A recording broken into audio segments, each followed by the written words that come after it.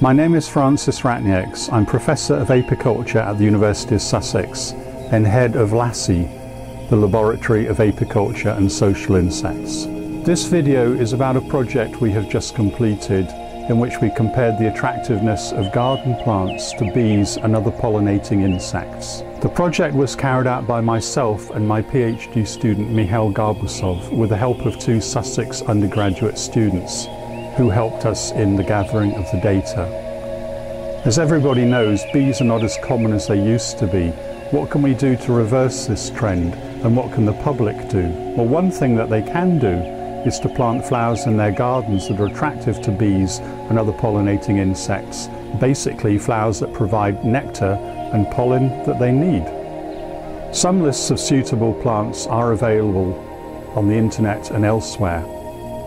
In this study, we aimed at putting this advice on a firmer scientific footing by gathering data on the actual numbers of insects visiting the flowers to collect nectar or pollen. We planted a garden on the University of Sussex campus. This garden had 32 varieties of summer flowering plants. Each was planted twice in two beds, each of one metre by one metre. We chose a wide range of plants, including some that we thought would be attractive and some that we thought would not be attractive, to provide a comparison. Our basic method was simple. We repeatedly counted the insects feeding on the flowers to build up a picture of overall attractiveness. We also identified the insects to major categories honeybees, bumblebees, other bees, hoverflies, butterflies and moths, and all other insects. We did this for two summers. Bees were the most numerous insects at about 85%.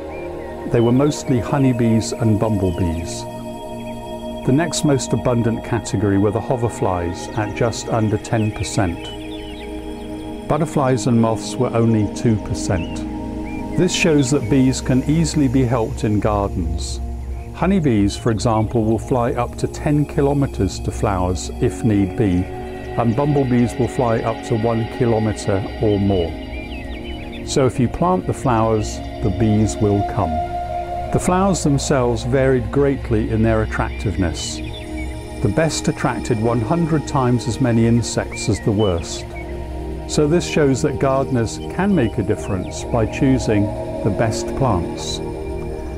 Different varieties attracted a different mix of insects. For example, honeybees were the most numerous on borage, but borage also attracted bumblebees and some other insects. By contrast, lavender and dahlia attracted many more bumblebees than honeybees. Bowles mauve everlasting wallflower was the most attractive to butterflies, although butterflies were only about a quarter of the insects seen on this plant. Marjoram was probably the most attractive plant of all those that we studied and it also attracted a very good mix of insects including honeybees, bumblebees, other types of bees, butterflies and hoverflies. Lamb's ear attracted one rather unusual bee, the woolcarder bee, as well as visiting the flowers, the female bees also collect the hairs on the plant to use in nest building.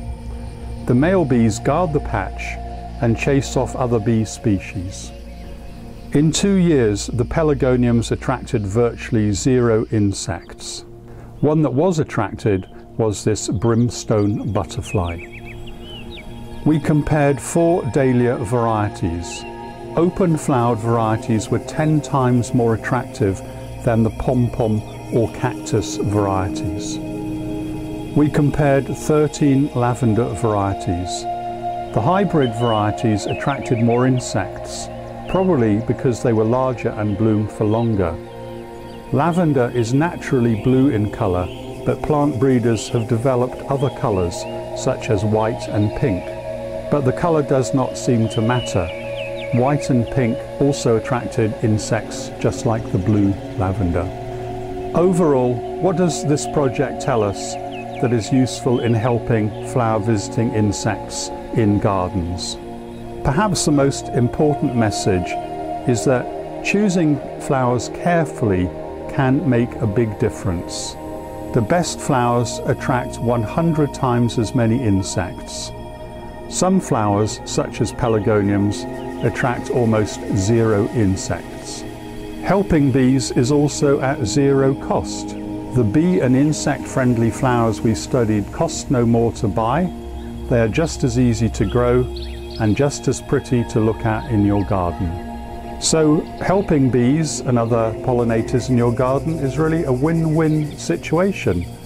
To help bees and other pollinators in your garden, the flowers do not have to be native British wildflowers. Nectar is basically sugar and water, and it does not really matter if this is from a plant that is British, from the Mediterranean, such as lavender, or even from Mexico, such as dahlias. There are literally thousands of different plant varieties available to plant in your garden. This study was not an attempt to compare all of them. It would have been impossible to do so. But gardeners can compare different varieties in their own gardens or even in garden centres when they're thinking of buying a flower. Just have a look before you buy. Does it have bees on it? If it does, well, it's probably a good plant. But here are some varieties from the 32 that we studied that we can fully recommend. They all flower in the summer, they are all easy to grow, cheap and very attractive and they will bring in bees and butterflies and hoverflies into your garden. This project is part of the Sussex Plan for Honeybee Health and Wellbeing, a project with many different sub-projects that we've been doing for several years in the Laboratory of Apiculture and Social Insects. We're doing our best to try and help bees and other insects. And this is just one way that we're doing it. We would like to say thank you to the Body Shop Foundation who provided the funding that enabled Mihail Garbuzov to do his PhD